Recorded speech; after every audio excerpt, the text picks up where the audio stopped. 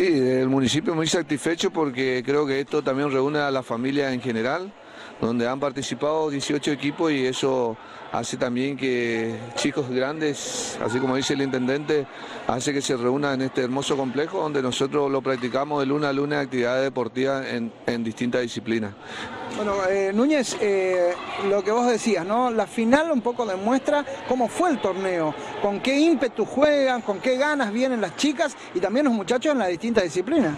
Es así, bueno, justamente una hermosa final, como ustedes pudieron apreciar, eh, de buen nivel y bueno, eso también hace que ellos también durante la semana estén practicando acá en el lugar del, del complejo del Polideportivo San Juan Bautista, entonces también hace también que el, espectáculo salga de, buen nivel y bueno, lo que buscamos justamente es la integración más que el resultado a veces, porque lo que buscamos es que participe y que juegue, más allá de los resultados que por ahí se puedan dar en, distintos, en distintas categorías, porque tenemos una A y una B, entonces eso también demuestra que hay eh, bastante seriedad en, esta disciplina, en lo que estamos hablando. Núñez, ¿qué características tuvo? ¿Hay ascensos, hay descensos?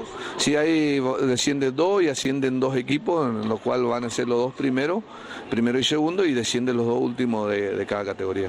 esto también le da un, ingrediente extra a querer ganar los partidos, ¿no? Sí, es así, justamente eh, se da, se da a, diríamos, un poco de rivalidad porque por ahí quizás los equipos quieran permanecer en su categoría y algunos quizás eh, quieren ascender, como hay muchos equipos que están bien conformados y bueno, que por ahí por cuestiones deportivas se dan los resultados y bueno, tratan de, hacer de la mejor manera posible para que, eh, más para que salga mejor el, espectáculo. Usted decía que aquí se dedican a las distintas disciplinas en este complejo de lunes a lunes, pero se reúne toda la familia, ¿no?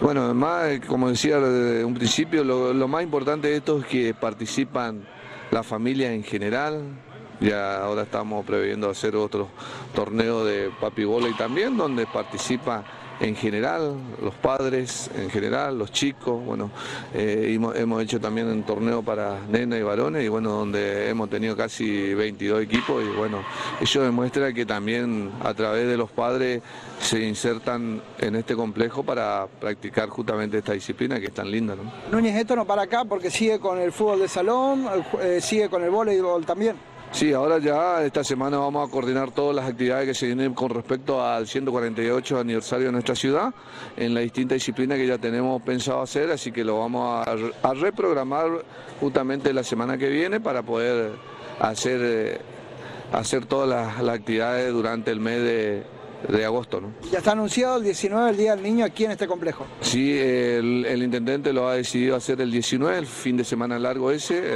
El, intendente ha dado la directiva de organizar, como todos los años, un eh, hecho por la municipalidad, el Día del Niño, justamente acá en el complejo del Polideportivo San Juan Bautista.